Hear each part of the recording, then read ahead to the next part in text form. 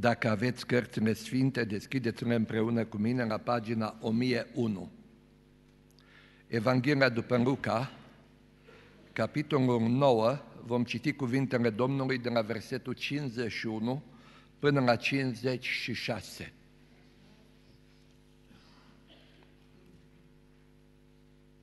Când s-a apropiat vremea în care avea să fie luat în cer, Iisus și-a îndreptat fața hotărât să meargă la Ierusalim. A trimis înainte niște sori care s-au dus și au intrat într-un sat al samaritenilor ca să pregătească un loc de găzduit. Dar ei nu l-au primit pentru că Iisus se îndrepta să meargă spre Ierusalim. Ucenicii săi, Iacov și Ioan, când au văzut lucrul acesta, au zis, Doamne, vrei să poruncim să se pogoare foc din cer și să-i mistuie cum a făcut Ilie?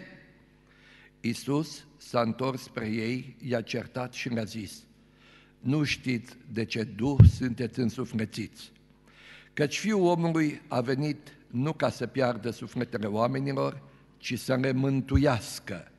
Și au plecat într-un alt sat. Amin. Vă rog să reocupați locurile.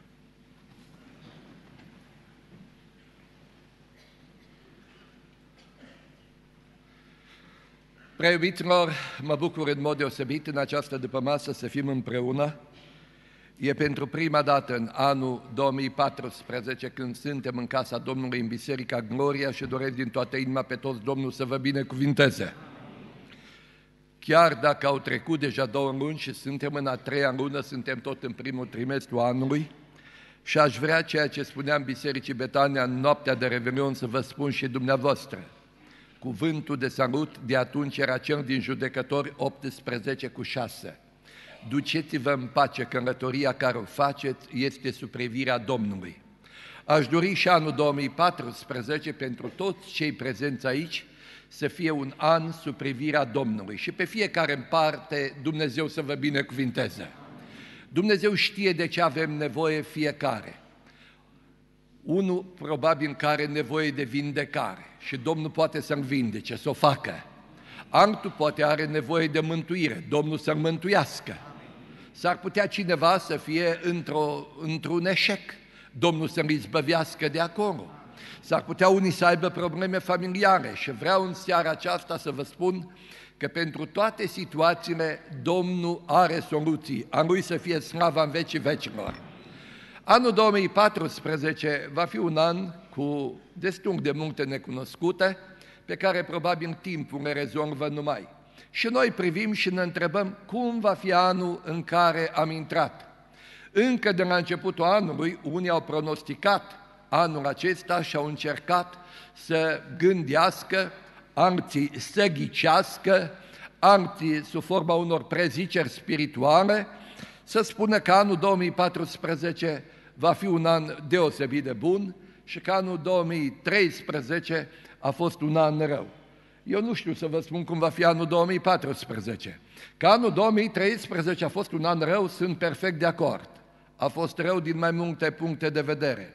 A fost rău din punct de vedere economic, a fost rău din punct de vedere politic, ați văzut ce s-a întâmplat în mod deosebit în țările arabe, vedeți ce se întâmplă la ora actuală în răsărit. Anul 2013 a fost rău din punct de vedere moral, a fost rău și din punct de vedere religios. Și e trist, dar pentru prima dată în istoria omenirii, în 2013, uh, au fost aprobate căsătoriile între persoane de același fel în șase state din lume. Ori știți care era pedeapsa lui Dumnezeu pentru asemenea păcate? Era arderea în foc sau uciderea cu pietre? Și cu toate astea, șase state din lume, printre care unele chiar de vârf, au acceptat prin lege căsătoria între persoane de același sex. O mizerie mare, o murdărie pe haina societății postmoderniste de astăzi. Și cei ce speculează și gândesc au încercat chiar să pună anii pe cod de bare. mai nou cei ce sunteți cu informatica sunteți mai recurent decât noi, și au zis pe cod de bare, punem ani. Anul 2013, 2 cu 0 e 2, cu 1 e 3 și cu 3 6. Cifra 6 reprezintă maleficul. 666 reprezintă anticristul, e cifra lui diavolul. Și era normal să fie un an rău, zic unii. Vis-a-vis de anul 2014, din nou pus pe cod de bare, 2 cu 0 e 2, cu 1 e 3, cu, cu 1 e 3 și cu 4 e 7. Cifra 7 reprezintă desăvârșirea, reprezintă pe Dumnezeu. Și vin speculanții și spun anul 2014 va fi un an bun, e anul lui Dumnezeu. Eu cred din toată inima că Dumnezeu ne poate binecuvânta în anul 2014. Și dacă suntem la acest început de an, dincolo de toate dorințele care le avem pentru anul în care am intrat, dorința mea deosebită este ca în anul acesta Dumnezeu să mântuiască mai mult ca oricând. Trăim într-o lume în care avem nevoie de mântuire. Și scopul venirii Domnului Isus Hristos în lume, tocmai acesta a fost. Dumnezeu s-a întrupat și a coborât pe pământ ca pe oameni să-i poată în Dumnezeu și să-i ducă într-o zi în cer. A venit Fiul lui Dumnezeu și a coborât aici jos ca să poată deschide în larg porțile cerului și pe toți cei ce vor să intre în împărăția lui Dumnezeu să-i poată duce acolo. Să-i poată duce acolo să ne ridice la un rang deosebit. Zicea prin Asaf în psalmul 82, am zis, toți sunteți Dumnezei, fii ai celui prea înalt. E poziția, este statutul, este înălțimea la care Dumnezeu vrea să ne ridice. Și de aceea a venit Domnul Isus Hristos în lume. Foarte mulți poate privesc spre Iisus Hristos ca soluție la problemele vieții. Într-adevăr, problemele cotidiene sunt foarte diversificate. Domnul Iisus Hristos spuneam că are soluții pentru ele, dar dincolo de toate problemele noastre, dincolo de toate necazurile noastre, dincolo de orice situație critică a vieții, Fiul lui Dumnezeu a venit să caute și să mântuiască tot ce era pierdut, slăvit să fie El. Frații mei, încă înainte de nașterea Lui, Îngerul s-a dus la Fecioara Maria și a spus, și iată că vei naște un copil de parte bărbătească și îi vei pune numele Iisus, fiindcă El va mântui pe poporul său de păcatele sale. E o trebuință comună pe care o avem toți cei prezenți aici, trebuința mântuirii. E o trebuință comună pentru toți locuitorii Bujacului, trebuința mântuirii. E o trebuință comună pentru toți locuitorii Aradului, a României și a lumii întregi, Dumnezeu să ne mântuiască. Și dacă trebuie să ne rugăm la acest început de an, în mod deosebit, să ne rugăm pentru mântuire, Dumnezeu să mântuiască. Probabil că foarte mult vă raportați la mântuire ca la izbăvire de păcat și nu e rău. Cuvântul mântuire tradus corect în limba română însemnează izbăvit dintr-o stare de fapt. Și există mântuire de păcate, există mântuire de boare, există mântuire de necazuri, există mântuire din unele greutăți, dar Domnul poate să ne mântuiască din toate. În latina veche cuvântul mântuire uh, se exprimă printr-o uh, printr-un cuvânt foarte interesant, mitodoridas, care tradus însemnează a scăpa de o povară dureroasă. Atunci când e vorba de mântuirea spirituală, mitodoridasul, adică scăparea de acea povară dureroasă, a venit prin Domnul Isus Hristos. Păcatul e povara cea mai mare. Sunt poveri mari în viețile noastre. O familie poate spune, am copii mulți și am o povară mare de dus. Eu nu zic că nu e așa. Spuneam dimineața în Biserica Betania că mă uitam de atâtea ori când făceam de gardă și era militar, aveam niște blocuri în față și mă uitam de câte ori să aprind luminile la câte un apartament și ziceam sigur, acolo este ori un bolnav, ori un copilaș. Și număram de câte ori să aprind luminile în timpul serviciului meu de gardă și nu de puțin ori mi-a fost dat să văd câte o mămică care a ieșit și pe balcon, probabil a căutat ceva și a intrat înapoi. Știți de ce? Pentru că se confrunta cu probleme. Dar unde sunt 8 copii, dar unde sunt 10 copii, dar unde sunt mai mulți copii, da să mai ai și bolnavi în familie. Doamne, cât de mare e povara! Doamne, cât de mare și de dureroasă e povara unei boli, să stai imobilizat în pat, să zică medicul paralizie, să zică medicul cancer, să fii întemnițat într-un trup pietrificat, fără să poți face multe. Nu de mult am văzut un tânăr care în afară de cap nu putea să miște absolut nimic și îmi spunea de 11 ani sunt pietrificat, stau închis în cușca asta și nu pot să mă eliberez din ea. Cușca mea se numește trupul ăsta pe care nu-l pot mișca, pe care nu-l pot controla. Și era așa de dureroasă boala lui, dar dincolo de toate infirmitățile, dincolo de toate boalele, dincolo de toate necazurile, dincolo de toate greutățile, cea mai dureroasă povară e povara păcatului, pentru că atrage după sine moartea. Plata păcatului este moartea, dar darul fără plata lui Dumnezeu este viață veșnică în Isus Hristos. Dragii mei, în seara aceasta stăm înaintea Domnului Isus Hristos și e normal să ne punem întrebarea, suntem sau nu suntem mântuiți? Am scăpat sau n-am scăpat de păcate? Suntem într-o stare raportată voinței divine sau nu suntem? Avem acel chip dumnezeesc în noi, că tocmai ăsta a fost scopul Domnului Isus Hristos. Să vină, să ocupe un loc în noi și apoi din noi să facă purtătorii chipului său. Eram copil când am învățat cântarea și am cântat-o și la Bujac și la Grădiște și peste tot. Aș vrea, Iisuse scump, să fiu ca tine, în pribegia mea pe acest pământ, de atâta ori când grei spita vine, să o biruiesc prin Sfântul Tău cuvânt. Și Dumnezeu ne ajută, Dumnezeu ne dă biruința, Domnul Iisus Hristos mântuiește. Important noi este să fim de acord, de atâtea ori noi nu suntem de acord cu voința lui Dumnezeu. De atâtea ori probabil nu conștientizăm cât de mare este nevoia și cât de aproape este soluția izbăvirii noastre din greutatea respectivă. Uitați-vă, Domnul Iisus Hristos se îndrepta spre Ierusalim. Cuvântul Ierusalim tradus însemnează orașul luminilor. Și Domnul, pentru că știa că se apropie vremea în care să fie luat la cer, se îndrepta spre orașul luminilor.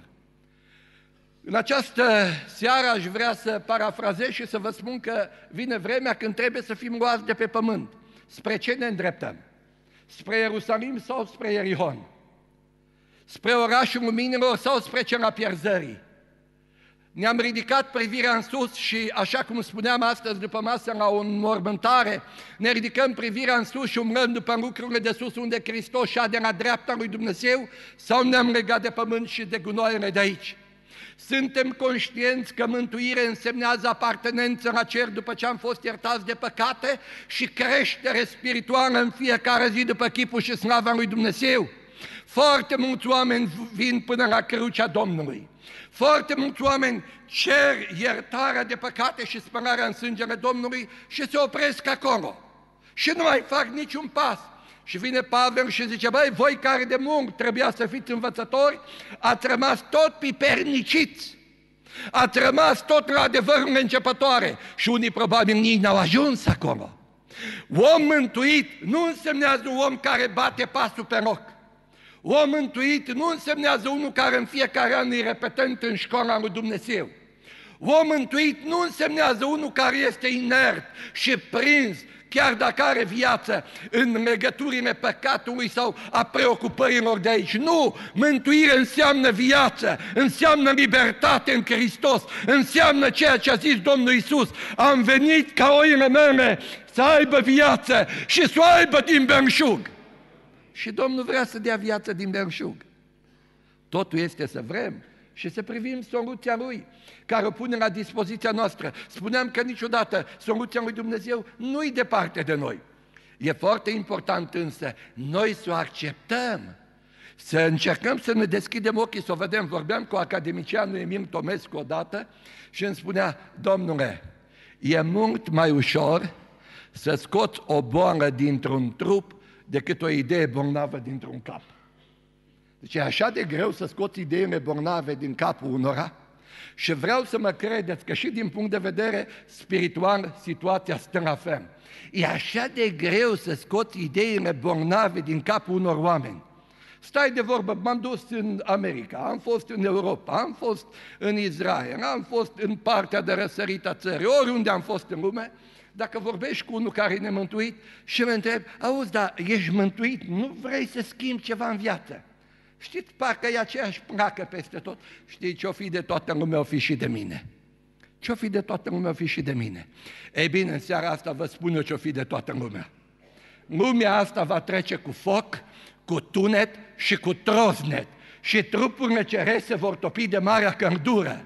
Pentru că Dumnezeu nostru este drept, slăvit să-i fie numele. Asta vrei să fie și de tine? Ai posibilitatea în seara aceasta să accepti mântuirea. Atunci când Dumnezeu te cheamă, nu-i mare lucru să te apropii de orașul luminilor. Nu-i mare lucru, Domnul te ajută, îți întinde mâna. Important este să vrei, nu trebuie să faci eforturi mari, că Domnul este gata să te ajute. Totul este să vrei. Vedeți, pe Domnul Iisus Hristos, într-un sat a samaritenilor, n-au vrut să-mi primească. Chiar dacă i-am călătorat spre uh, orașul luminilor. Și cei doi ucenici au zis, să vină foc din cer. Câteodată noi, în râvna noastră exagerată, am zice, măi, cum e rabdă Dumnezeu? Eu tot mă întreb cum rabdă Dumnezeu. Citeam o statistică nu de mult, din 100 de femei însărcinate care rămân însărcinate în România, numai 47 nasc. 53 avortează și aruncă copiii la Canaan. Și am zis, cum poți să rabzi, Doamne, treaba asta? Șase țări au legalizat căsătoria între persoane de același fel. Te uiți cu scârbă la ei, parcă-ți doi pantofi pe stânga. Apoi, te uiți ceea ce se întâmplă în lumea drogurilor, te uiți în mizeria politică, începând cu Parlamentul țării și terminând cu structurile de jos. Carcă unul peste celălalt și fiecare vrea să ajungă cât mai sus. Și eu zic, cum poți, Doamne, să rab? Aproape că aș și gata să trec de partea lui Iacov și a lui Ioan, să zic, Doamne, nu cobor foc din cer. Dar Domnul are un de lungă răbdare, pentru că vrea ca niciunul să nu piară, ci tot să vină la pocăință, zicea omul lui Dumnezeu Petru. Domnul are un de lungă răbdare. Și răbdarea lui Dumnezeu a fost pentru toți cei prezenți aici până în seara asta. Eu nu știu dacă răbdarea lui Dumnezeu se extinde și pentru ziua de mâine.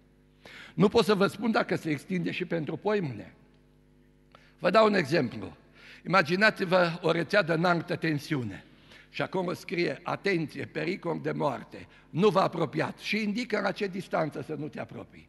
Și tu ai trecut un metru peste limita de acolo și zici, uite, domnule, ce minciună, 20 de metri și fă, sunt numai la 19 metri și nu m-am electrocutat. Și mai mergi încă un metru și zici, uite, nu m-am electrocutat. Și mai faci încă un pas și zici, nu m-am electrocutat. Și te tot apropii pas cu pas. Dar nu știi când se descarcă arcul electric în tine și te carbonizează.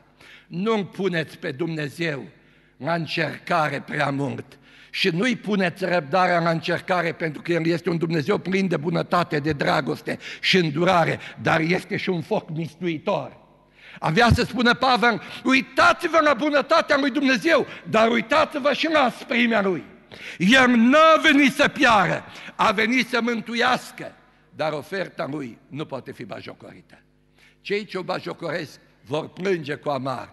Răpirea, răpirea, am cântat în seara asta. Ăsta va fi examenul mântuirii pentru foarte mulți. Suntem mântuiți. Domnul este gata să ne mântuiască. Și niciunul nu avem vrenicia. Niciunul din noi nu putem spune, Doamne, noi suntem vrenici. Domnul însă zice, eu sunt gata să vă dau, totul este să vreți. E trist că nu vrem, e trist că nu conștientizăm că avem nevoie de mântuire.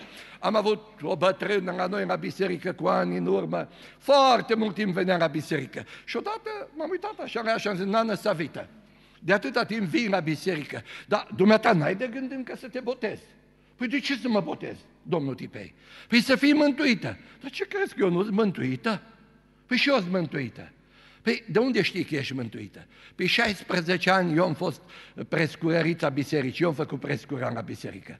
Și credea că în asta constă mântuirea că face prescura la biserică. Credeți că în asta stă mântuirea că eu predic la învon în seara asta? Credeți că în asta stă mântuirea că pot să cânt o cântare în biserică? În asta stă mântuirea. Omul mântuit este omul care îl scoate în evidență pe Domnul Isus Hristos și dovedește că a scăpat de povara dureroasă, că a fost izbăvit de acea stare de fapt și în fiecare zi urcă noi trepte spirituale. Domnul vrea să mântuiască. Domnul vrea să mântuiască dar noi vrednicie nu avem. Atunci când ne zmerim înaintea lui Dumnezeu, când suntem conștienți că avem de mân- nevoie de mântuire și ne zmerim înaintea Lui, să știți că Domnul își întinde mâna, ne scoate din groapa pe iri, din fundul mocirmei, ne pune picioare pe stâncă, ne întărește pașii, ne pune cântări de laudă în gură și lucrul acesta constituie un miracol și pentru alții, zice psalmistul, mulți au văzut lucrul acesta, s-au temut și s-au încrezut în Domnul. Merite n-avem, Biblia ne vorbește despre niște situații extraordinare, când așa beneficii mari și binecuvântări au venit în viața unor oameni, dar foarte interesant că totdeauna ei au fost conștienți că nu le merită. Și atunci au venit binecuvântările peste ei. Ajunge David rege și întreabă, nu mai rămas nimeni din familia lui Ionatan, fiul lui Saul, vreau să mă port cu bunătatea lui Dumnezeu față de el. Și vine unul Țiba și îi spune, ba, este Mefiboset, fiul lui Ionatan aici, dar e un loc de picioare. Aduceți-l aici! Îl aduce pe Mefiboset la David, să uită David la el și spune, Mefiboset, din pricina tatălui tău Ionatan, îți dau înapoi toate averile tatălui tău Saul și mai mult, vreau să stai totdeauna la masă cu mine. Și Mefiboset, ce a zis? În sfârșit, sunt prinț, da, se vede că într-adevăr tatăl meu a fost fiul lui Saul, mi-am atins scopul. O zis, Domnul meu, uită-te la mine, sunt ca un câine mort. Se vedea așa de nevrednic să stea la masă cu David. Și ce a zis David? Mă, foarte bine, stai tu în camera de dincolo că o să-ți trimit mâncare acolo. Nu. No. Tot timpul vieții lui, Mefiboset a fost chemat să stea la masă cu David dar a știut să se smerească.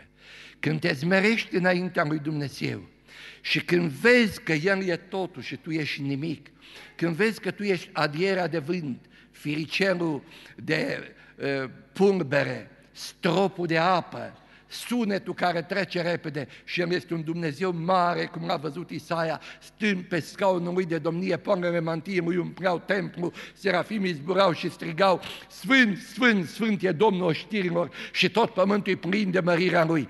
Meritoare sau meritoare să stau alături de El? prin meritele mele niciodată, prin grația și dragostea Domnului Isus Hristos, întotdeauna pentru că El a venit, a luat mâna noastră să o pună în mâna Tatălui. Și e seara când putem să ne apropiem de Dumnezeu prin Hristos. Mântuire însemnează să te vezi singur, fără de ajutor, conștient fiindcă Dumnezeu te ajută. Nu poate să-ți dea mântuirea nici președintele cultului, nici a comunității, nici patriarhul, nici episcopul, nu-ți pot da mântuirea. Eroare, înșelăciune. Nimeni nu poate răspunde de faptele mele în fața legii pământești aici. Cum va răspunde cineva în fața uh, tronului de judecată lui Dumnezeu pentru păcatele mele? Personal trebuie să stau în fața lui Dumnezeu. Și zice Pavel în 2 Corinteni, capitolul 5, cu versetul 10, că toți trebuie să ne înfățișăm înaintea scaunului de judecată lui Hristos, pentru ca fiecare să dea socoteală de binele sau rău pe care îl va fi făcut când trăia în trup. Trebuie să mergi într-o zi acolo. Și e normal atunci să te întrebi, sunt mântuit sau nu sunt mântuit? S-a dus Domnul într-o zi pe la Siloam și îmi vede pe un amărât de 38 de ani, stând acolo la scărdătoare. A așteptat din când în când să vadă că se onduiesc apele și că poate să sară și în acolo să se vindece. Se apropie de slăbănogul ăsta și ăsta se uită la Domnul, Domnul se uită la el și îl întreabă, vrei tu să te faci sănătos? Ce întrebare! Dar omul se vede nevrednic, se vede neînsemnat, se vede mic, se vede singur și spune, Domne, n-am pe nimeni. Și până să sar eu, sare altul înaintea mea. Și eu totdeauna rămân pe din afară cu alte cuvinte. N-am pe nimeni. Nu e așa că de atâtea ori v-ați văzut singuri și a zis, n-am pe nimeni. N-a putut nimeni să-ți rezolve problemele care le ai. N-a putut nimeni să se ocupe de durerea și de povara dureroasă a sufletului. N-a putut nimeni să intervină în viața ta și ai zis, n-am pe nimeni. N-a putut nimeni. Mi-aduc aminte că discutam de atâtea ori cu diferite persoane și se vedeau așa de încorsetate că nimeni nu putea soluționa problema. Domnul Iisus Hristos poate.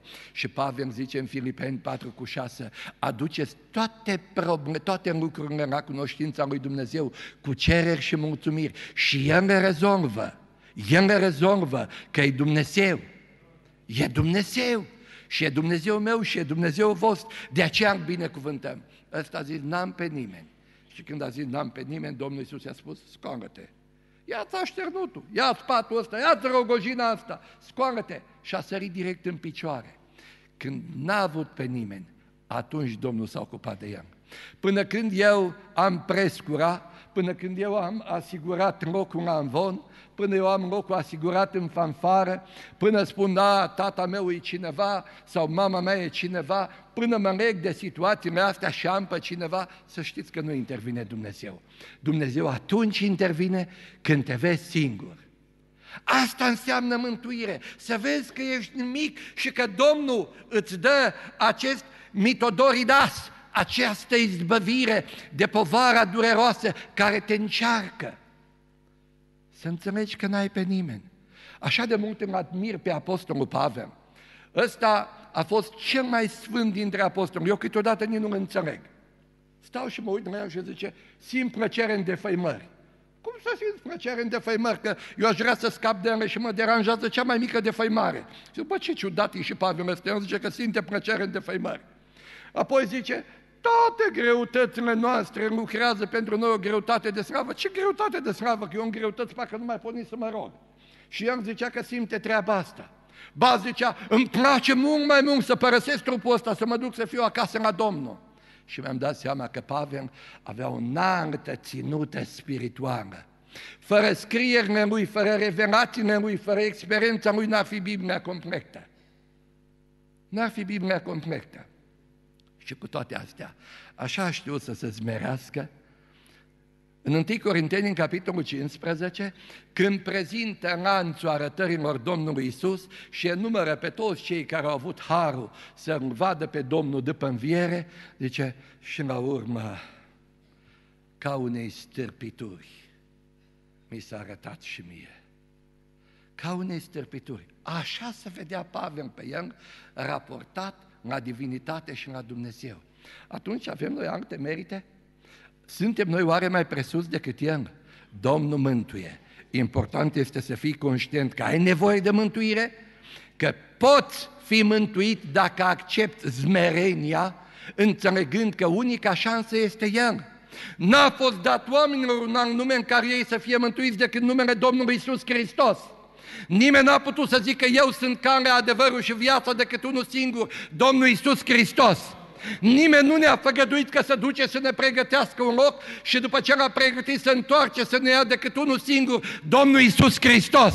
În El avem viața, ființa și mișcarea și suntem din neamul lui predica Pavel Areopagul din Atena și El e Domnul Isus Hristos. În această seară, noi îl predicăm pe El și spunem tuturor că mântuirea vine prin El. E important să înțelegi că mântuirea îți lipsește și că vrei să o accepti, că ai nevoie de salvare. Câte vreme ți se pare că acea placă uzată pe care o folosesc tot, ce-o fi de toată lumea, o fi și de mine, vreau să spun că ești la distanță de mântuire. Eram tânăr, așa ca voi, 18-19 ani. În vremea aceea, în biserici, programul era de la 9 la 12 și apoi de la 12 jumate la 2. De la 2 până seara ce să faci? Nu ne-a lăsat tovarășul inspector nici repetiții de cor să facem duminică seara, nu cumva să denaturăm uh, întrunirile noastre. Și vine vară, cald. Ne-am fi dus și noi să facem baie, dar era multă rigiditate în biserică, să nu fi auzit păstorii sau comitetul că te duci să faci baie mureș, ferească Dumnezeu. Era jale. Și cum eu am fost mai non-conformist, așa, cu niște prieteni de mei, am zis, băi, eu am găsit soluția. Las că am găsit un loc unde putem merge să facem baie. Nu știe nici pastorul, nu știe nici comitetul, nimic. E undeva îndosit, am găsit soluția și ne ducem. Și ne-am dus într-o zi călduroasă de vară să facem baie. Când am ajuns în locul ăla îndosit, ne-am dezbrăcat și ideea a fost, hai să sărim în Mureș, care traversează mai repede Mureșul? Mai repezit, așa cum am fost totdeauna, am sărit în apă, numai că n-am știut cât de periculos e Mureșul. N-am ajuns nici la mijlocul lui și m-a prins un ochi și a început să mă învârtească. Eram cu unul de aici, cu un bujecan de avost și el era cu noi în trupă. Eram vreo patru, cinci, nu mai știu exact cât am fost și a început să mă învârtească pârnia aia care s-a format. Am încercat o să ies din ochiul ăla, dar n-am putut, oricum am vrut. M-am lăsat în jos, n-am putut să ies. La un moment dat, în disperare, am început să țip. Ăștia ce au fost cu mine, nici ăștia nu erau mai breși ca mine, că nu știau să note, nici ei. N-au avut curajul să mă apropie, în loc să vină să mă ajute, au ieșit repede și s-au dus la mană. Și eu mă zbăteam. Deja vedeam pierdută orice șansă. În momentul ăla, cineva de pe man a văzut că sunt în pericol și a aruncat sandale din picioare și a pus geanta pe o bancă și a sărit în apă și a venit până la mine. Ce credeți? Că imediat a pus mâna să mă salveze? Primul lucru mi-a strigat, nu te prinde de mine că ne necăm amândoi, suntem în pericol. Când ești disperat, te prind și de un pai. Am încercat să-l prind, s-a retras și din nou mi-a spus, nu te prinde de mine că aici rămânem amândoi. Lasă-mă că te scot eu, dar stai liniștit.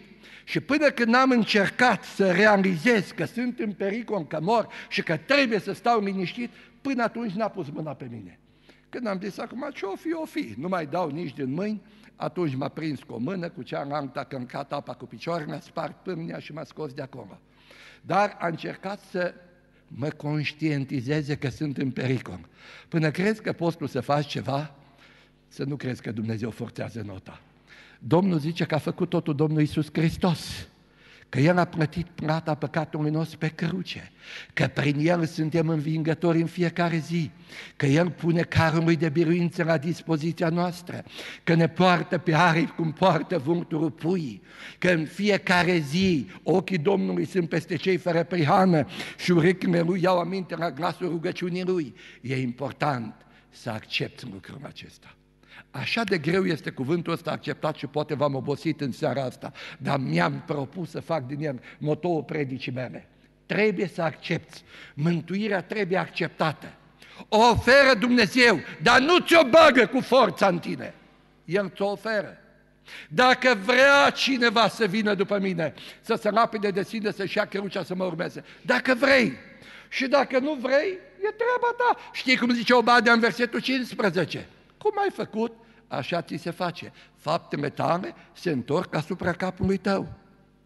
A fi mântuit trebuie în lumea asta murdară, în lumea asta în care, așa cum am spus, sunt avorturi, homosexualități, divorțuri, dușmănii, lupte politice, lupte sociale, criză din toate punctele de vedere. În lumea asta, Domnul vrea să-și ridice un popor care să fie o lumină în întuneric.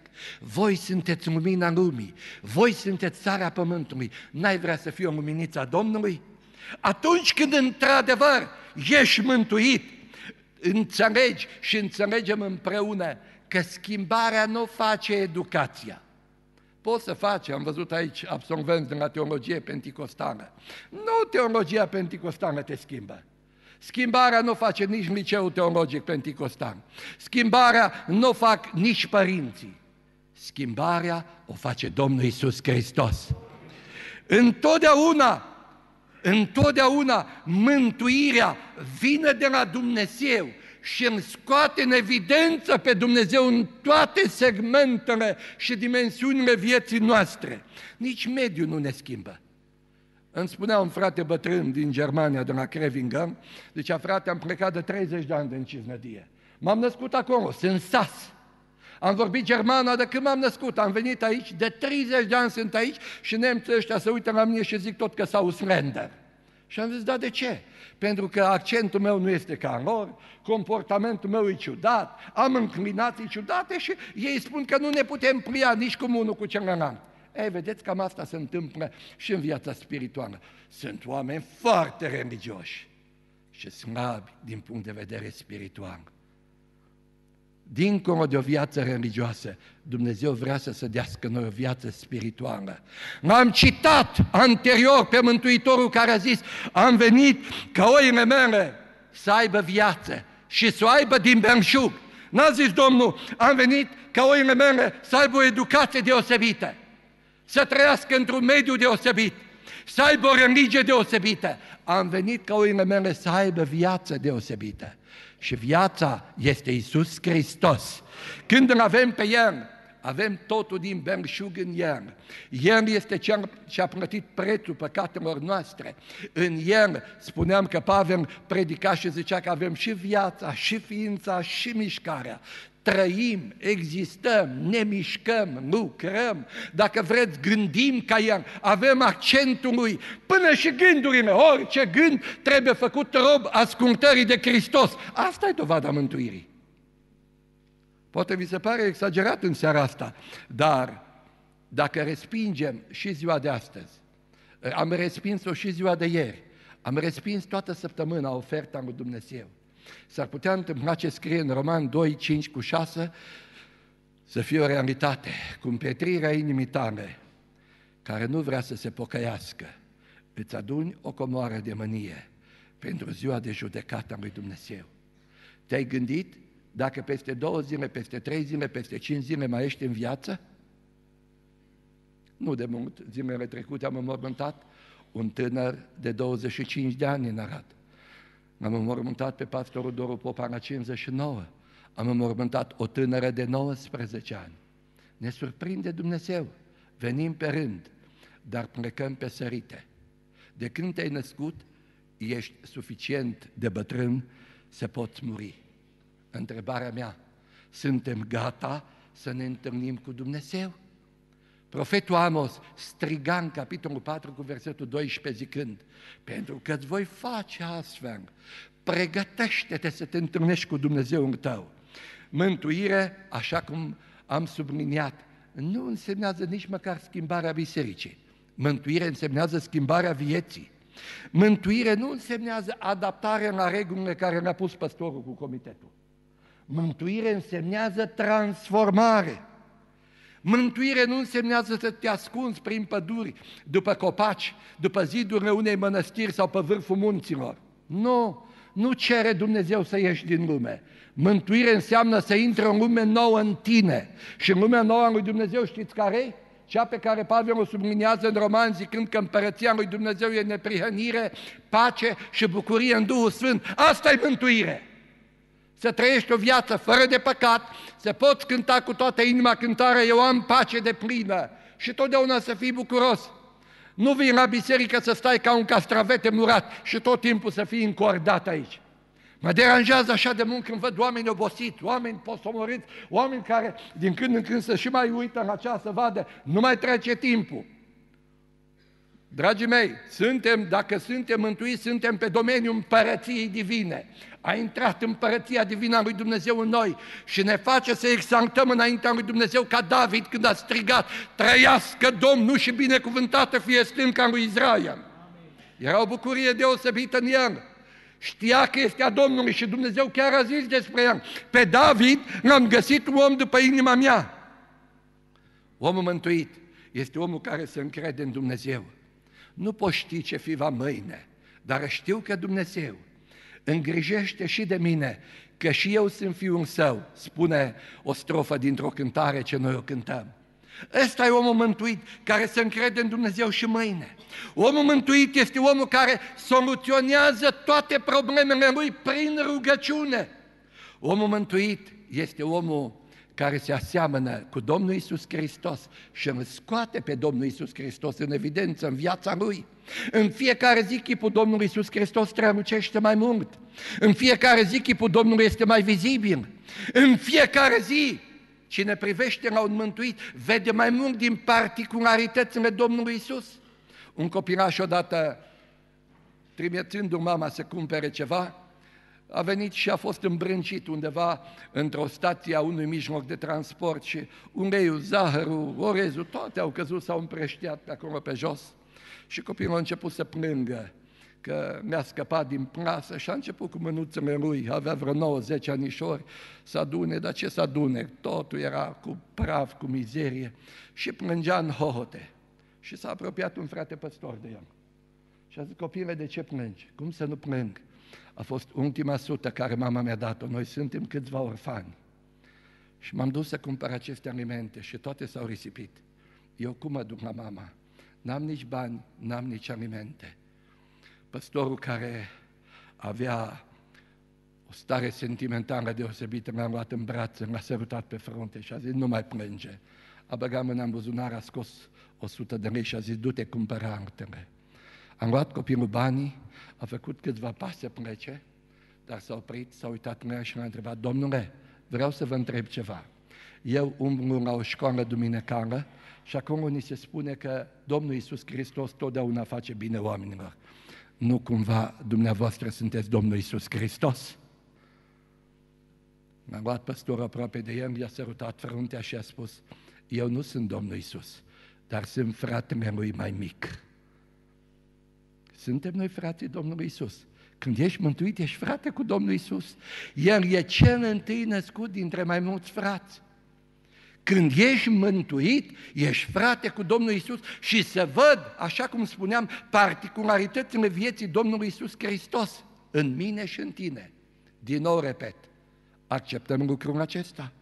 Conștientizăm faptul că avem nevoie de mântuire. Înțelegem noi că soluția salvării noastre pentru eternitate nu e decât în Isus Hristos? Că nicio altă cale și nicio altă metodă nu conduce la veșnicie și la moștenire cerească decât cea care se numește Isus Hristos? Și în seara aceasta mă rog Domnului, Duhul Sfânt să ne călăuzească spre Hristos, să ne călăuzească spre cruce, să treacă cu noi dincolo de cruce și în fiecare zi să ne ajute să ne identificăm mai mult cu Domnul, să creștem în Harul Lui, să scoatem mai mult în evidență tot ceea ce însemnează apartenență la cer. E așa de important să accept călăuzirea Duhului Sfânt. Suntem restanțieri la capitolul ăsta. Ne-am ferit, nu înjurăm, nu mințim, încercăm să ne ferim de unele probleme, dar e o problemă așa de sensibilă călăuzirea Duhului Sfânt. Și suntem corigenți, uneori poate chiar repetenți. Nu mi-e rușine să vă spun. Și eu am rămas corigent la capitolul ăsta. Hai să vă dau un exemplu. Era înainte de 89. Toată lumea știa că cei mai bogați oameni sunt cojocari și cei ce injectau mase plastice în vremea comuniștilor într-unul din județele vecine, județele limitrofe, aveam unul dintre pocăiții noștri la fără frecvență, că nu erau numai de ocazii rari prezenți unii în biserică, mi-a dat telefon și a zis, a murit mama, vă invit să veniți mâine la mormântare. Vine și tovarășul cu tare, și tovarășul cu tare și mi-a prezentat o galerie de tovarăși care veneau la mormântare. Vino, te rog, la mormântare. Și am zis, bine, mă duc.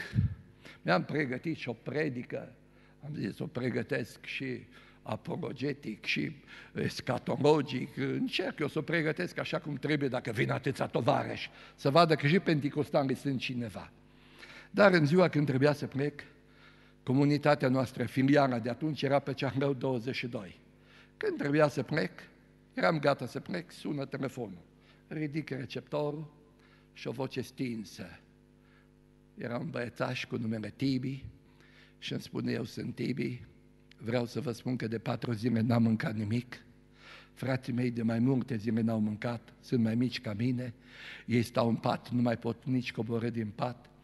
O bătrână mi-a dat o bucată de pâine și o cană de ceai în urmă cu patru zile și azi mi-a spus că dumneavoastră pocăiții îi ajutați pe cei ce sunt în nevoi. Domnul Tipei, v-am sunat Trebuia să plec, știu că am dat niște bani la unul din frații din birou și am zis, du-te, cumpără ceva și du-te acolo. S-a dus fratele nostru cu ceea ce eu am dat pe strada sinagogii locuiau. S-a dus să ducă tot ceea ce trebuia acolo și eu am plecat spre înmormântare. Dar pe drum tot timpul m-am frământat și am zis, ce predice scatologice ne trebuie nouă? Ce predici apologetice ne trebuie nouă? Credința fără fapte e moarte, zice Iacob, și trebuie să chemăm oamenii la fapte. Adevărata mântuire trebuie să rodească noi. În Apocalips, în capitolul 14, cu versetul 13, scrie Ferice de acum încolo de morți care mor în Domnul, da, zice Duhul ei se vor odihni de ostenările lor, pentru că faptele urmează. Și țin minte și acum, predica mea a fost foarte simplă. De ce să te odihnești dacă n-ai trudit? Și am vorbit despre trei lucruri care nu pot fi mormântate. Nu pot fi mormântate faptele, nu poate fi mormântat sufletul și nu poate fi mormântat numele. Și acolo la mormântare am spus și întâmplarea cu tânărul ăsta, adolescentul ăsta ce m-a sunat înainte de a pleca din birou. Frate Moise erau la mormântare, poate vreo 20 diacon, prezbiter, pastor, că a murit mama unui boss. Bun, am predicat eu că am venit de la filială. Când am fost gata, a venit băiatul moarte și mi-a spus, știi ceva, am tăiat doi porci și un vițel. Ai văzut câte lume aici. Veniți toți la masă când s-a terminat. Am zis, vreau să spun că eu din principiu nu mănânc la mormântări. Și doi mă și grăbesc, nu vin. Și m-am dus cu mașina la cimitir. S-a terminat slujba în cimitir și am vrut să plec. Când să plec din cimitir, mă duc la mașină să deschid mașina, văd un bătrân că vine spre mine ca soldatul de la Plevna. Tărâm piciorul după el, un picior de lemn cu o cârjă, murdar, zdremțos. Când s-a apropiat așa la distanța asta de mine, cum sunteți voi, fetelor, mirosa că nu mai știam ce să, cum să mă întorc capul și avea o căciună albă, că era sfârșit de noiembrie, ziceai că tot e mâncată de șobolani. Zice, domnule, du-mă cu mașina până acasă. Wow! Dar cum de tocmai pe mine mai găsit din câte mașini sunt aici? Da, imediat mi-a venit gândul, mă, ăsta au fost precis acasă și m-au auzit ce am predicat. Și au văzut că am pus accentul că fapta e necesară și că fapta scoate în evidență adevărata credință, precis că ăsta m-a auzit ce am predicat acolo. Și acum mă supune la examen să vadă dacă și împlinești ce am zis. Am oftat odată și... Bine, hai că te duc. S-a apropiat, când s-a apropiat de mașină, să nu vă spun. Era de dreptul insuportabil. Zice, da, ajută-mă să urc în mașină, că eu nu pot. Am deschis mașina și a pus în piciorul sănătos. Da. Ăla de lemn a trebuit să impun eu. Așa, cu două degete, nu, atunci nu aveam șervețele parfumate. Cu două degete am luat așa cârja, am așezat-o în spate, mă tot uitam la mâini, nu știam nici cum să țin mâinile pe volan. Am pornit să pornesc și lăsat geamul jos în partea mea. El zice, închide geamul că eu sufăr cu curentul. Am închis și geamul. M-am dus cât m-am dus și ce a fost bine că omul ăsta la un moment dat îmi spune, zice, nu, gata, aici iau la stânga, că aici locuiesc eu, nu te du mai departe. Bun, așa m-am bucurat.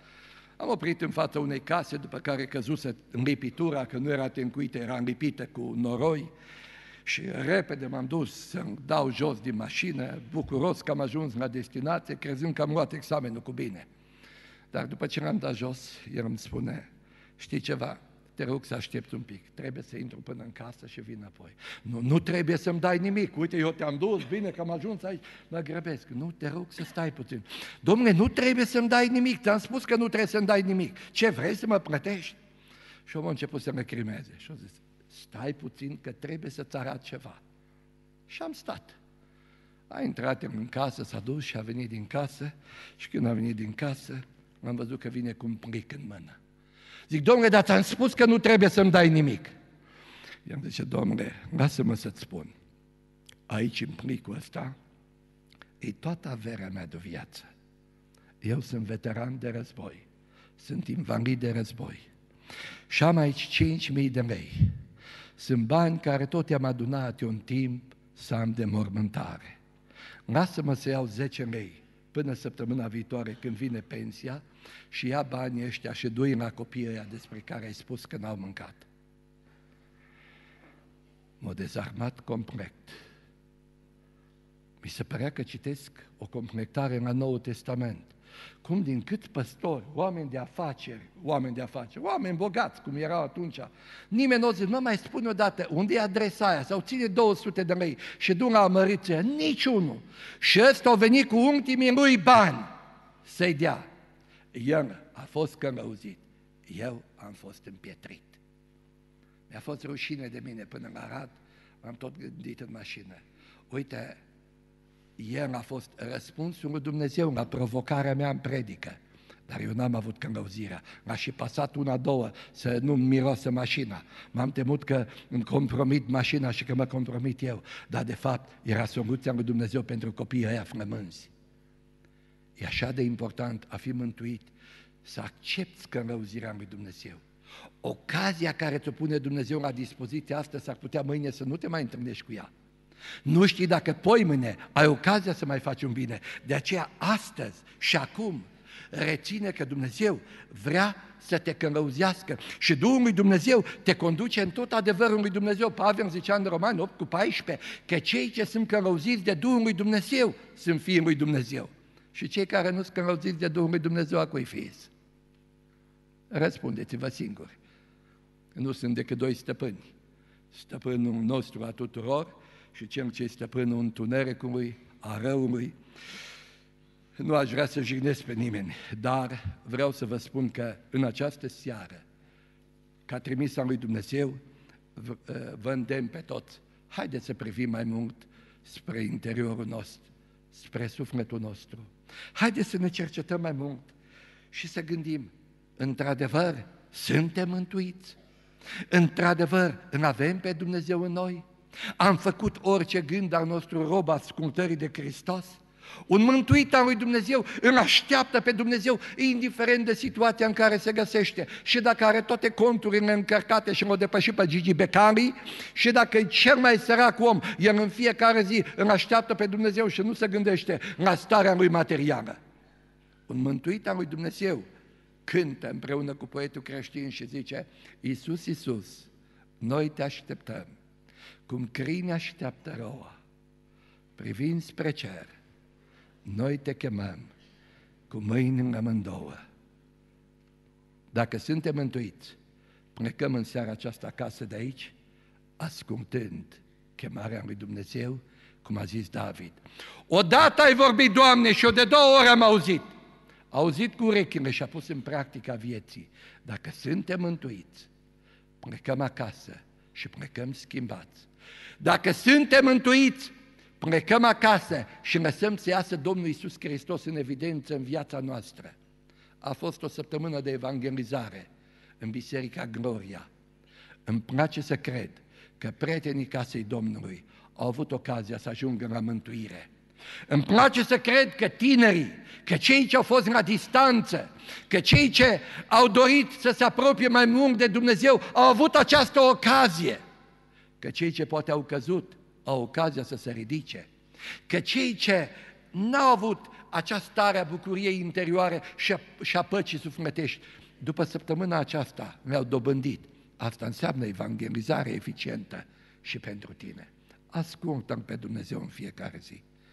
Uneori ascultarea lui Dumnezeu nu înseamnă tocmai satisfacție pentru noi, dar a fi mântuit înseamnă să-L asculți pe Dumnezeu orbește. Atunci când Dumnezeu îți cere ceva, să-L asculți, exact ca Avram.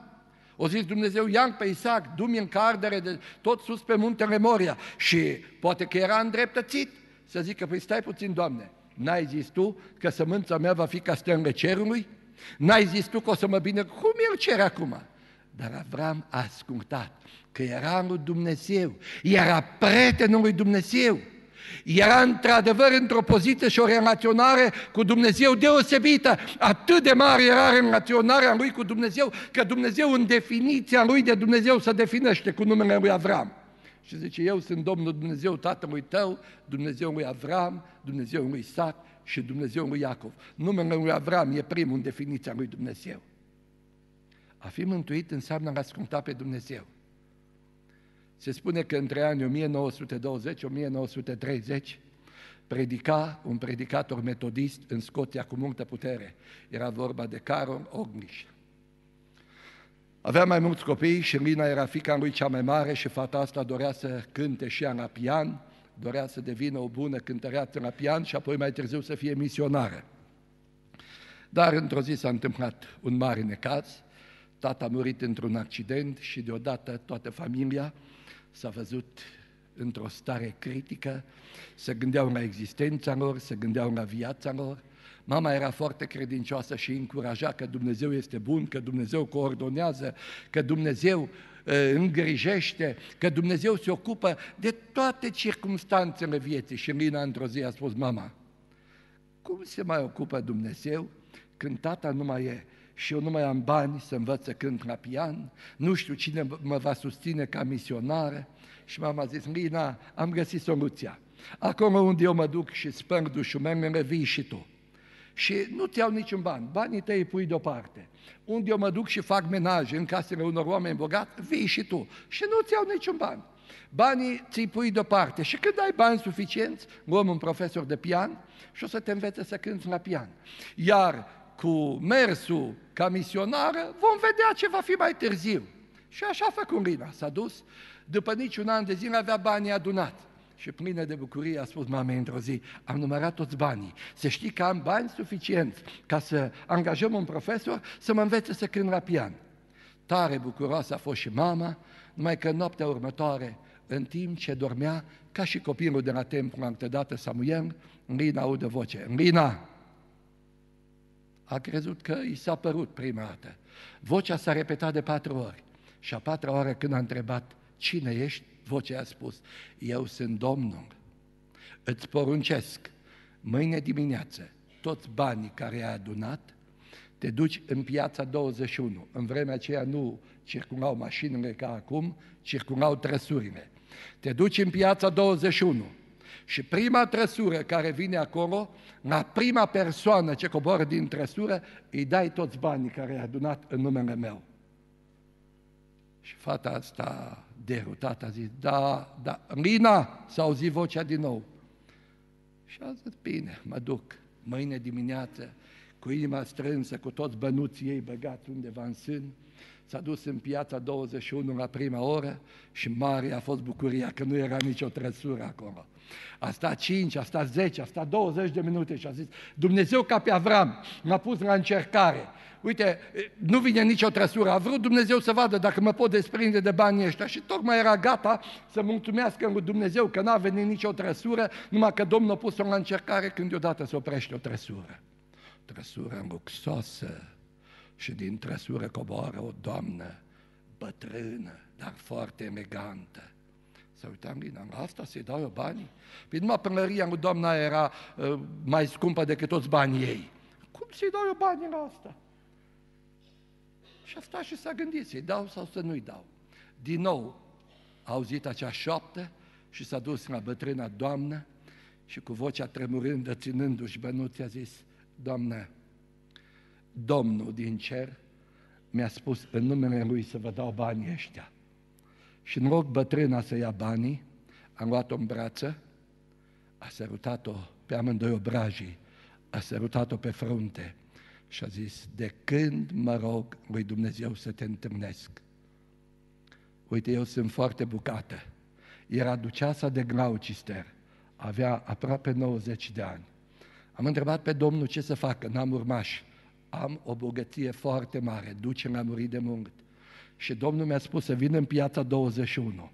Și prima persoană care o văd că vrea să facă un bine, să o iau acasă și să-i transfer toată averea mea. Și Lina, pentru că a ascultat vocea Domnului, într-o dimineață a devenit cea mai bogată, că s-a întâlnit cu duceasa de Glaucister. Așa e că și voi ați vrea să întâlniți o duceasă. Vreau să vă spun că aici e cineva mai mare decât duceasa de Glaucister. Aici e cineva mai mare decât împăratul Solomon. Aici e cineva mai mare decât David. Aici e cineva mai mare decât Avram. Aici e Domnul Isus Hristos. Și el spune, veniți la mine toți cei trudiți și împovărați și eu vă voi da o dihnă și repaus sufletelor voastre. Mai spune că celui ce va birui îi voi da să șadă cu mine pe scaunul meu de domnie, după cum eu am biruit și am stat cu tatăl meu pe scaunul lui de domnie și împarte Dumnezeu și domnia și veșnicia cu tine.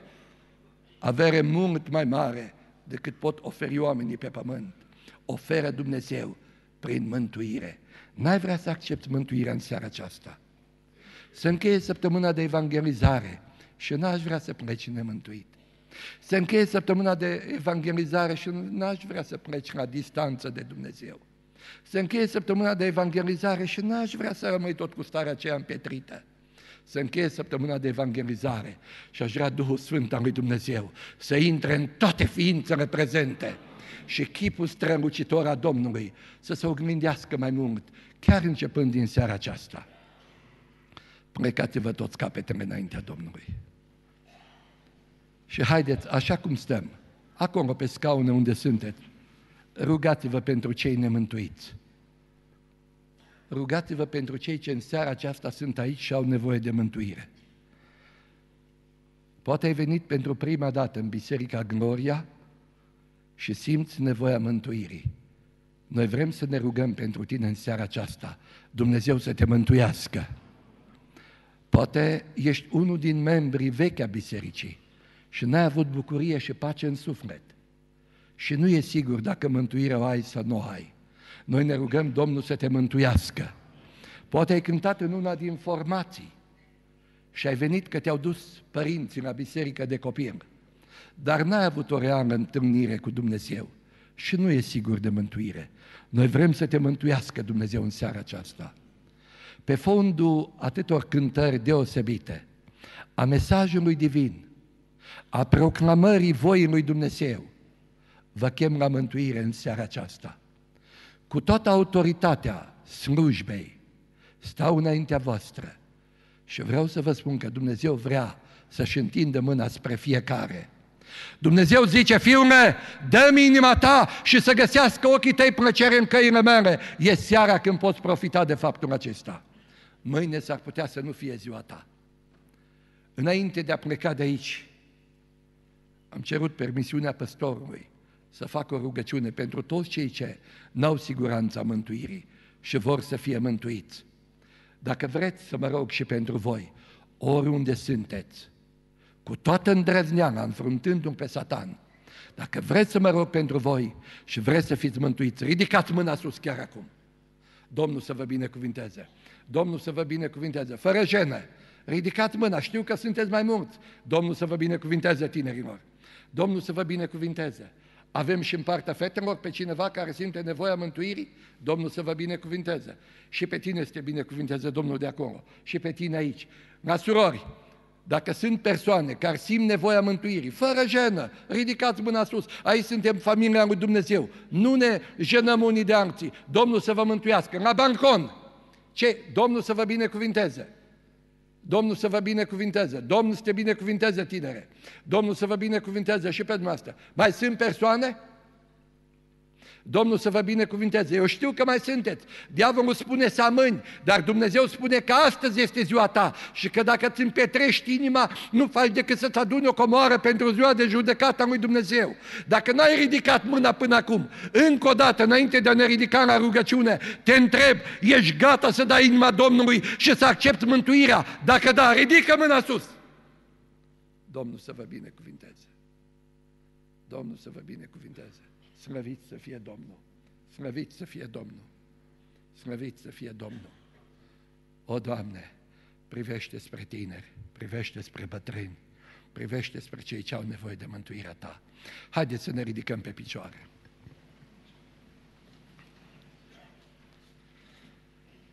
Doamne Dumnezeul meu, în seara aceasta stau înaintea Ta și îți mulțumesc în mod deosebit că între noi și tine Domnul Iisus Hristos este încă mijlocitor. Îți mulțumesc că în El avem mântuirea și că El a venit să caute și să mântuiască tot ce era pierdut. Și îți mulțumesc, Doamne, că și în seara aceasta ai găsit pe unii pierduți și îi chemi mai aproape de Tine. Le ofer mântuirea Ta. Te rog să-i binecuvintezi. Tu ai văzut atâtea mâini care s-au ridicat în fața ta și înaintea ta. Și eu cred că împreună cu mâinile s-au ridicat și inimile. Coboară Tu cu îndurerile Tale, atinge pe fiecare în parte, Doamne, iartă păcate, Doamne, curățește vieți, mântuiește suflete, trece nume în cartea vieții. Și fă, Doamne Dumnezeule, că atunci când numele Sfinților de aici din Biserica Gloria va fi citit într-o zi, să fie citit și numele celor ce au ridicat mâna sus înaintea Ta. Mă rog, o Doamne, zmunge din împărăția întunericului și așează-i Tu în împărăția luminii. fă un sad sfânt în marea Ta grădină, ajută-i să rodească și rodul lor să rămână până la coacere. Păzește-i, Doamne, de duhuri și de oameni răi păzește de orice unămtire diabolică, fă să fie statornici, nimeni și nimic să nu-i poată zmunge din mâna ta, întotdeauna să ai aripa întinsă peste ei, fii tu un tur de scăpare și o cetate de adăpost, fii protecția lor, Doamne, sprijinește-i, poartă-i pe brațele tale, lasă-i, Doamne, întotdeauna să oglindească chipul tău cel sfânt. Și tu, atunci când te uiți în palmele tale, te rog, uită-te și la cei ce au ridicat mâinile în seara aceasta. Ei săpat acolo, sunt ai tăi, vor fi o cunună împărătească în mâna ta. Te rog, o Doamne Dumnezeu, crește în harul tău și fă să fie totdeauna folositori împărăției tale divine. În seara aceasta, Doamne, mă rog și pentru cei ce nu au avut curajul să ridice mâna. Poate și-au ridicat inimile. Trimite Duhul Sfânt printre rânduri. Trimite Duhul Tău prin cartierul acesta. Trimite Duhul Tău prin orașul acesta. Trimite-mi de pe stradă pe stradă, de la casă la casă, de la inimă la inimă. Tu stai la ușă și bați. Făi să-ți deschidă, Doamne. Intră Tu în inim. Mântuiește, Doamne proslăvește, Doamne, ridică, Doamne, fă, Doamne, ca numele Tău cel mare și sfânt, ca un drapel, să fânfie deasupra multora. Mă rog, Doamne, să mântuiești Aradul. Mă rog să mântuiești România. Mă rog, Doamne, să mântuiești lumea întreagă și în mijlocul acestui neam păcătos. Doamne, ajută-ne să ne mântuim sufletele cu toții și în fiecare zi poporul Tău să privească spre Tine, așteptându-te cu bucurie. Dacă în seara aceasta sunt aici persoane care doresc să fie mântuite de boală, te rog, îndură-te și de aceștia. Doamne, atunci când Fiul Tău murea pe cruce, a pironit împreună cu păcatele noastre și boalele noastre și prin rănile Lui suntem tămăduiți. Tămăduiește, Doamne, cele două persoane ce au fost amintite cu numele aici. Tămăduiește pe toți cei bolnavi de stomac. Tămăduiește pe cei bolnavi de rinichi. Tămăduiește pe cei bolnavi de inimă. Tămăduiește pe cei bolnavi de intestină atinge-te de ochi, de urechi, de nas, de gât, atinge-te de toate mădunarele, atinge-te de creierul mare și creierul mic, proclam biruința de pe Golgota aici, ai biruit și ești biruitor în vecii vecilor, atinge-te de diabetici, atinge-te de boli cardiovasculare, atinge-te de cei ce au nevoie de atingerea ta. Și mântuiește, Doamne, și în dimensiunea asta existenței. Doamne, te rog în seara aceasta, pentru cei ce au probleme personale, pentru cei ce au probleme familiale, pentru cei ce au probleme în viața de fiecare zi, ocupă-te, Doamne, și de aceștia. Tu locuiești în înălțime și în sfințenie, dar ești cu cel cu Duhul zdrobit și cu inima mâhnită, pentru că vrei să ne înviorezi și să ne ridici. Ridică-ne, Doamne! Înviorează-ne, Doamne! Mântuiește-ne, Doamne! Strălucește, Doamne, în viața noastră! Și în ziua când vei veni, cheamă-ne, Doamne, pe nume. Amin.